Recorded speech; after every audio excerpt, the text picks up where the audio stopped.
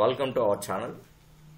In the previous lecture, I explained when the practical transformer is operating under load conditions. Now, moving to the next concept, equivalent circuit of circuit resistance of a single phase transformer equivalent circuit resistance of a single phase transformer. What is our first assumption? The first assumption is permeability of transformer core is infinity. So we are already considered with a finite permeability. And the second one is core losses is not equal to zero. Coming to the practical one. And third we are considering the resistance. The resistance of the winding is also not equal to 0 but in an ideal case we are assuming that core loss is 0 and the resistance of the winding is 0 but if the transformer winding has resistances how many windings the transformer has how many windings? There are two windings. One is a primary winding and another one is secondary winding. Or see here it is HV winding and LV winding. So the supply which is given to the winding is called the primary winding. So here we are considering the resistance. The primary winding resistance is R1 the secondary winding resistance is R2 and here I am connecting a load. The primary winding draws a current of I1 the EMFs which is induced in a windings is E1 and E2 E1 is the primary induced EMF E2 is the secondary induced EMF the current flowing through secondary winding is I2 and the load is also I2 and the terminal voltage is V2 so again the same story if the current flows through windings which will produce us an alternating flux in the core. So the transformer symbolic representation is like this. So the primary winding resistance is R1 and these two are, lines are represents the it is a iron core transformer. These two lines are represents it is a iron core transformer.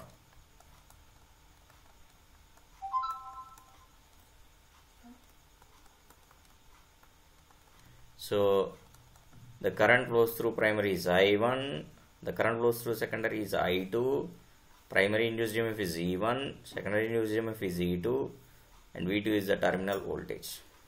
And these two lines are represented as iron core transformer. So if the lines are not there if the lines are not there then this type of transformer is called air core transformer air core transformer.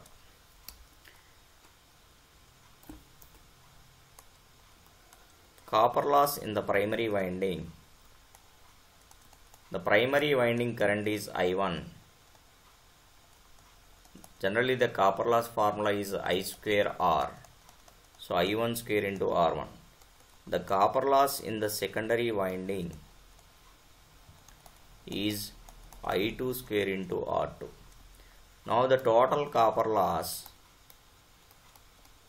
is equal to I1 square R1 plus I2 square into R2. If the secondary winding resistance is shifted to primary side, what is the condition for shifting of resistance? Copper loss before transfer of resistance. Copper loss before transfer of resistance should be equal to copper loss after transfer of resistor resistance. See the secondary winding resistance is shifted to primary side now that will becomes R2 dash. This is R1 this is the primary winding? The secondary winding is directly connected to load. The current flow is through load is load current that is the secondary current is I2 and this one is I1 primary current. So before transfer of resistance means what is the current flows through? R2 is I2 then I2 square R2 is equal to after shifting the current which is flowing is I1 square into R2 dash. Finally I can get this R2 dash is equal to I2 by I1 whole square into R2 so R2 divided by K square. Now you got it out. I2 by I1 is K R naught. 1 by K R naught so we have one relationship E2 by E1 is equal to N2 by N1 is equal to I2 dash by I2 what is the primary current? I1 is a phasor sum of I0 bar plus I2 dash bar. But by neglecting the no load current we can write it as we can write it as I1 divided by I2 that should be equal to K. So that's why I am writing as K is equal to I1 by I2 but here I2 by I1 can be written as 1 by K. Now what is the total resistance when referred to primary? R01 is equal to R1 plus R2 dash R1 plus R2 by K square this is called total resistance when referred to primary. And R02 is equal to similarly this is called the total resistance when referred to secondary. So we should find out now so the primary winding resistance is shifted to secondary side that will becomes R1 dash. The secondary winding resistance is R2 is our load. And the current which is flowing through this is I2 and here it is I1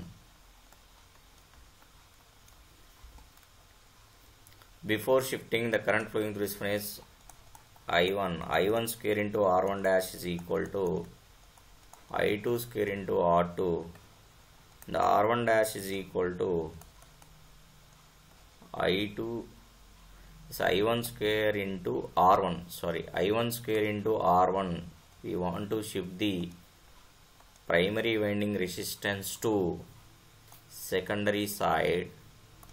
I1 square R1 to I2 square into R1 dash. I2 square into R1 dash. Then R1 dash is equal to I1 by I2 whole square into R1 that is K square times of R1 so this is called the R naught 2 R subscript zero 02 that is total resistance when referred to secondary when referred to secondary is equal to R2 plus R1 dash R2 plus K square times of R1 see if you apply KVL to this loop see this is these are the polarities.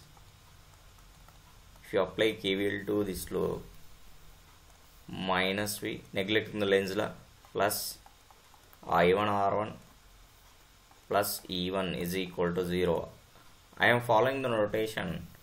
When the current enters into the positive terminal can be treated as positive.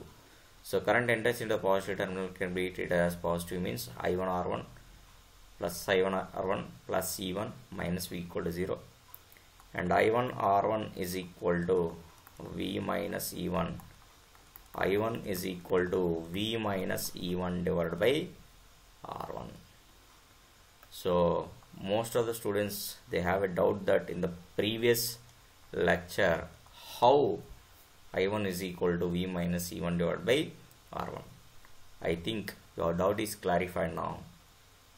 And this is the total resistance when referred to primary R01 is equal to R01 is equal to R1 plus R2 dash R1 plus R2 by K square. And total resistance when referred to secondary is R2 plus R1 dash that should be equal to R2 plus K square R1 like share and subscribe my channel. Thank you